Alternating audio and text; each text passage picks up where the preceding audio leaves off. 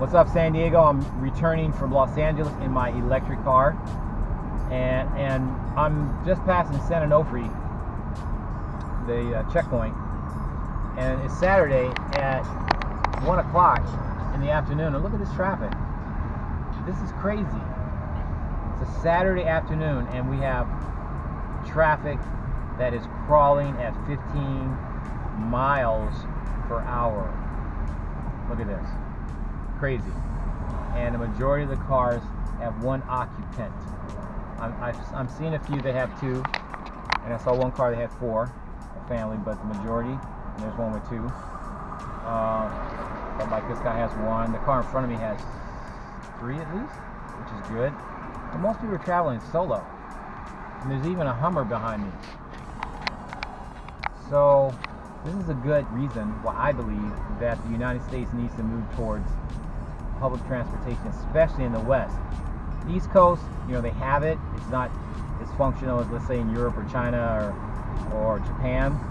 But the further you go west in the United States, the more openness you have and the more dependent you are on a vehicle. And I mean dependent. If you don't have a car, you can't get to work. If you have a car, maybe you have a DUI, you can't get to work because the buses don't run efficiently. Trolley only runs certain routes in Mexico, basically, and maybe to the colleges and the malls. We really need to be able to move people in a more efficient manner to allow them to get to point A and point B and not be so afraid of your fellow Americans, right? A lot of people, they want the independence of a car because they don't want to be with those people, whatever that means. I want you to see this again. This is going southbound. When I was going north, it, was a little bit slow too, but I left at like 7 in the morning, so traffic was kind of flowing like you see it over there now. But look at this. This is just amazing. You know, and then you have to wonder where are these people going? I just passed Orange County, so the next major city between where I'm at, where I am now, and where I'm going is San Diego, and then there's Mexico. You know, are, are people going to the beaches because of the three-day week? I don't know. I really don't know. But this has to change. If we are to fight the global warming crisis and turn it into a climate correction, we have to start with transportation. We have to start with people's mindset on how how we travel. We need to get away from this fossil fuel based economy. Now my car, depending on how I drive, gets anywhere from 258 to 312 miles per gallon in basic range. I'm using gallons because it's easier to say that way, but it's no gasoline. The range is from 258 to 300. So I just went to San Pedro, and now I'm coming back. Got 130 mile range left. So what I would propose doing, and I really think it's doable, let's start making more microcosm microcosm businesses like in the community. So in District 53 as an example, I would try to set up car conversion shops where this will be government subsidized. And keep in mind when I say that, the oil industry is subsidized to the tune of $5.3 million across the board, not just in one chunk, but in many different ways. So this is doable. So you set up these micro microcosms where you have small businesses and you allow people, starting with lower income families first, to come in and take your gas powered vehicle to have it retrofitted with an electric engine. The technology is there, and you could get, I'm sure, with the technology there, Tesla batteries and all that, because it's open source. Tesla made their system open source, where you could get a 150 to 200 mile range on most vehicles. There's that Hummer I was telling you about. Look at this. They're still on the road. One person, two people, I take it back. Two people in that car. That car gets like six miles a gallon. That's just ridiculous. And we were building that knowing that we had a climate situation occurring. GM still built that car. They, they were pushing that over over um, over electric cars. Anyway, back to my point. My point is get people to switch them out, and I, I yeah, I guarantee people are like, oh yeah, electric car, because Tesla really did a great thing by raising the public's consciousness on electric vehicles. And yeah, I know there's some issues with the mining of the, of the lithium or the yeah lithium ion to make the batteries.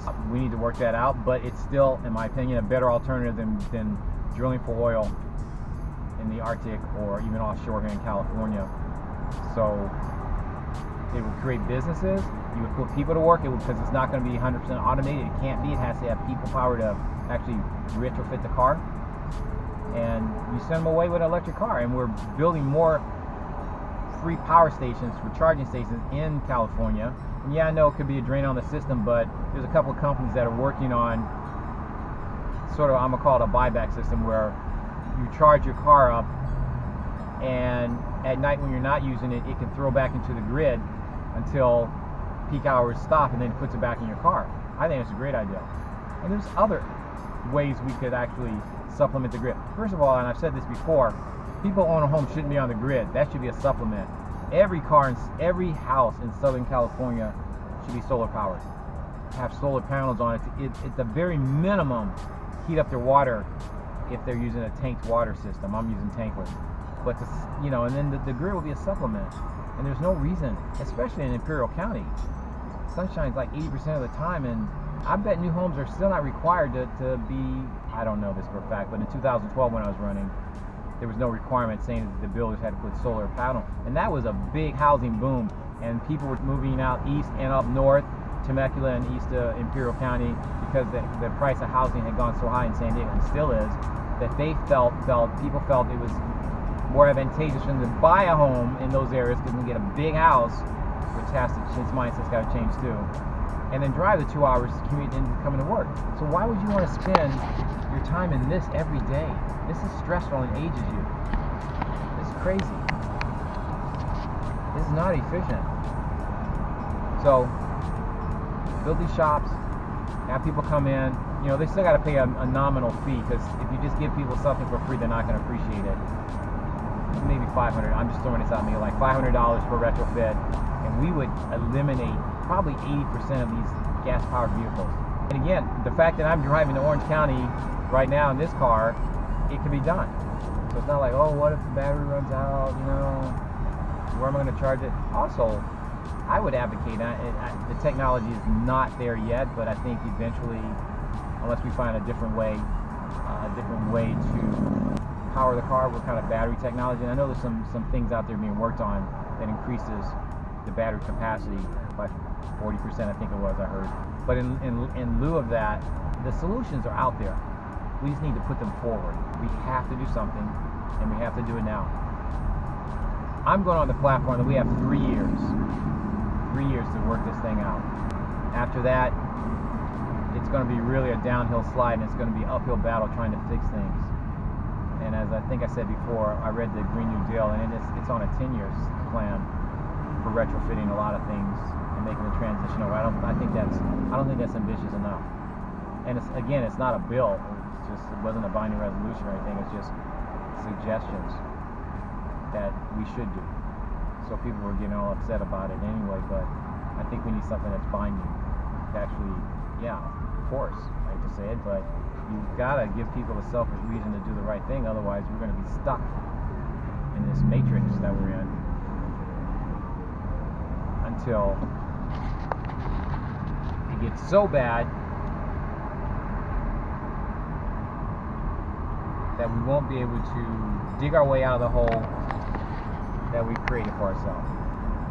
So with that, that's my story on transportation. So next time you're driving, just without crashing, just take a look at the cars behind you. Look at yours too, and see how many occupants are in each car. Just just look. I think it's very high on the one person per car scale. Anyway, I wish you a happy Martin Luther King holiday. Hope you had a good one. Catch you next time. Peace out.